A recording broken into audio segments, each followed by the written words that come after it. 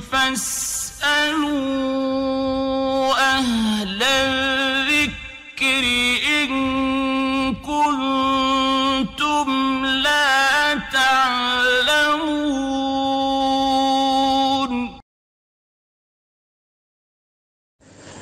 ওয়ালাইকুম আসসালাম রহমতুল্লাহ বরকাত জীবন প্রশ্ন করেছেন যে মৃতদেহর সামনে যদি কেউ কাদাকাটি করে, তাহলে সে শুনতে পায় কি? জীবনটা সে শুনতে পায় না, এটা নিশ্চিত। দুই নম্বর বিষয়, এখানে মূল বিষয় হচ্ছে এটাই যে মৃত ব্যক্তির সামনে যদি তার আত্মীয় স্বজন যদি কা মানে খুব চিৎকার দিয়ে কাঁদে বা তার গায়ে যদি স্পর্শ টাচ করে, সেক্ষেত্রে সে ব্যথা অনুভব করে। দুই নম্বর, মৃত ব্যক্তির জন্য যদি তার আত্মীয় স্বজন কাঁদে, তো মৃত ব্যক্তিকে প্রহর করা হয়।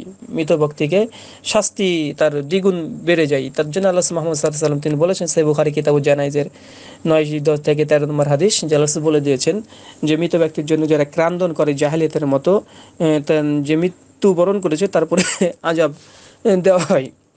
যাই হোক, দুই নম্বর বিষয়, যখন মানে লাশটাকে নিয়ে যায় সেই সময়তে বিষয়টি কি? জীবন, মৃত ব্যক্তিকে আল্লাহ বলেছেন, মৃত ব্যক্তি যে মানুষ যদি মারা যায়, তাহলে তাকে বেশিক্ষণ যেন পৃথিবীতে আর না রাখে, তাকে যেন দাফন করে দেয়।